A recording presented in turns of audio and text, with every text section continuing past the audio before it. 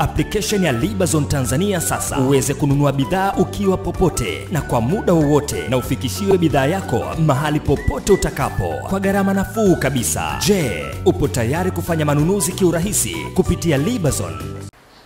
Kitendo cha baadhi ya wagombea wa kiti cha rais hasa mgombea wa Chadema Tundu Lissu kuikashifu tume kwamba itaiba kura zake ni kitendo cha kuidhalilisha tume na kutaka kuitisha tume ili sifanye kazi zake kwa uhuru, wakati tume kwa mujibu wa ibara ya sabini na nne ibara ndogo ya saba ibara ya kumi na moja ibara ya kumi na mbili na ibara ya kumi na nne ni tume huru inayofanya kazi bila kutishwa na mtu yeyote na chama chochote wala na mgombea yeyote.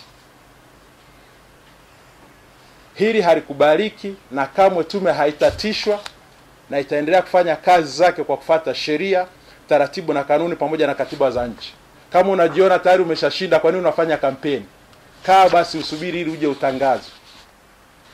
Hivyo wagombea aina hiyo wanapaswa kupuzwa na Watanzania.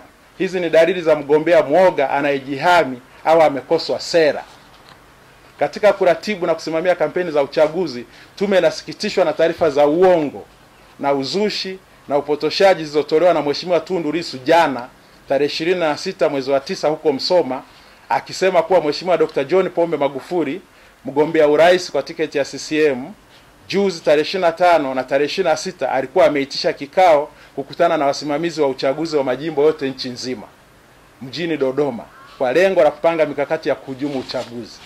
Lakini pia tarehe ishirini na tano mwezi wa tisa kuna taarifa zilizosambazwa mitandaoni zikisema Mheshimiwa Rais Dr. John Pombe Magufuli alifanya kikao na mkurugenzi wa uchaguzi ambaye ni mimi na wasimamizi wa uchaguzi mjini Dodoma.